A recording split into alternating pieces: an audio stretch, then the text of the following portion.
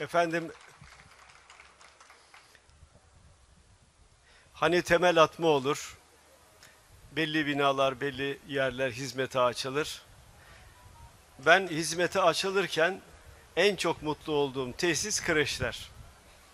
Nedeni de şu. Kentte yaşıyorsak, kadını ve erkeği birlikte çalışıyorsak, sonuçta kadının çocuğunu güven içinde bırakacağı bir yere ihtiyacı var. Kadın çocuğunu güven içinde oraya bırakacak. Alışverişe gidecek, taziyeye gidecek, düğüne gidecek, gezmeye gidecek. Dolayısıyla gözü arkada kalmayacak.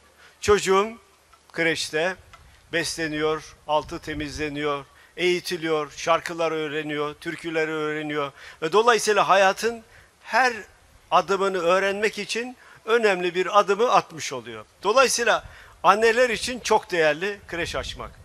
Bu vesileyle kreş açma kararını veren ve bu kreşin yapımı için büyük emek harcayan Sayın Ahamıza ve belediye başkanımıza hepinizin huzurunda yürekten teşekkür ederim. Tabii ağanın kürsüye çıkışına da döndüm başkana dedi ki vallahi tam bir ağa gibi yürüyor kürsüye. Efendim bu kreş sıradan bir yatırım değil. Verdiğiniz hizmet, verdiğiniz emek, verdiğiniz para sıradan bir para değil. Burada zengini, fakiri, çocuklar eşit yetişiyorlar. Beraber yetişiyorlar. Beraber şarkı söylüyorlar. Beraber türkü söylüyorlar. Beraber oyun oynuyorlar. Ve bu çocuklar birbirlerine farklı gözle bakmıyorlar. Çocukların büyüyüp birbirlerine farklı gözle bakmaları eğitimin yetersizliğinden kaynaklanıyor. Eğer eğitimi daha küçük yaşlardan başlatırsak, çocuklar arkadaşları arasında fark asla gözetmeyeceklerdir. Kız erkek arasında bu fark asla olmayacaktır. Senin rengin sarıydı, senin rengin efendim siyahtı. Böyle bir şey hiç olmayacak. Çocuğun dünyasında yok böyle bir şey. Çocuk dünyaya o kadar objektif, o kadar güzel bakar ki biz çocuğun bu bakışını onun ileriki yaşlarda da sürdürmesini istiyoruz. Onun yolu da eğitimdir. Eğitim aynı zamanda bir topluma sınıf atlatan en önemli ögedir. Eğer bir toplum gerçekten büyümeyi istiyorsa, gerçekten kalkınmayı istiyorsa, gerçekten beraber yaşamayı istiyorsa, gerçekten çağdaş uygarlığı yakalamak istiyorsa bunun temel anahtarı eğitimdir. O nedenledir ki Cumhuriyetin kuruluşunda Mustafa Kemal Atatürk ve arkadaşları eğitime büyük ama büyük yatırımlar yapmışlardır. Belki çoğumuz bilmeyiz. Belki farkında bile değiliz. Cumhuriyetin kuruluşunda erkeklerde okuma yazma oranı bütün Türkiye'de yüzde sekiz. Yüz erkekten sadece sekizi okuma yazma biliyor. Kadınlarda okuma yazma oranı binde sekiz. Bin kadından sadece sekizi okuma yazma biliyor. Bazıları diyor ya efendim demokrasiye hemen geçseydik. İyi geçelim de Hakkari'ye kuracağımız sandığın başında bir okur yazar, bir sandık görevlisi var ge- gerekiyordu. Okur yazarı yok. Köy enstitülerinin kuruluş felsefesi budur zaten. Eğitime bu kadar önem verilmesinin temel felsefesi budur. Sınıf atlamak istiyorduk. Çağdaş uygarlığı yakalamak istiyorduk.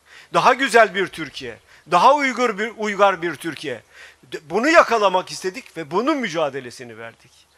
Bu kreş bu mücadelede atılan adımlardan birisidir. Bütün belediye başkanı arkadaşlarıma dedim zaten.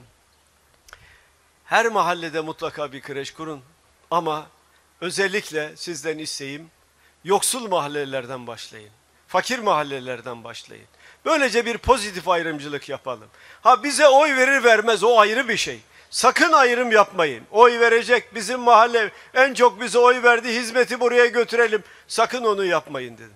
Bize oy vermiyor ama fakir mahalle mi? Oradan başlayın. Orada kreş olsun. Anneler güven içinde götürsünler. Ayrımcı bir politikadan vazgeçmemiz lazım. Kucaklayıcı bir dil kullanmamız lazım. Herkesi kucaklamamız lazım. İnsan bizim insanımız. Herkes benim gibi düşünmek zorunda değil ki. Ama onun derdi varsa ve ben ülkeyi yönetmeye talipsem onun derdine çözüm üretmek zorundayım. O nedenle başkanlarıma söyledim. Bulunduğunuz beldede bir çocuk yatağa aç giriyorsa o gece uyumayacaksınız. Önce o çocuğun karnı doyacak. O çocuğun karnı doyacak ki annesi rahat edecek, ailesi rahat edecek. Huzur içinde çocuğunu yatağa yatıracak. Bak karnın doydu diyecek. Dolayısıyla biz siyaseti de bu bağlamda yapmak, bu bağlamda götürmek zorundayız. Kavgadan değil, birlikten yana olmak zorundayız. Birlikte hareket etmek zorundayız. Elbette farklı düşünebiliriz. Elbette farklı partiler olabilir. Bunlar demokrasinin vazgeçilmez unsurları zaten. Ama farklı partilere mensup olmak birbirimizi düşman gibi görmek anlamına gelmez. Gelmemelidir de zaten. Bütün mesele siyasetçiye teslim edilen paranın hesabının halka verilmesidir. Ben vergi veriyorsam, yeni doğmuş çocuk vergi veriyorsa, en yaşlımız vergisini veriyorsa, o vergiyi kullanan siyasi otoritenin harcanan her kuruşun hesabını millete vermesi lazım.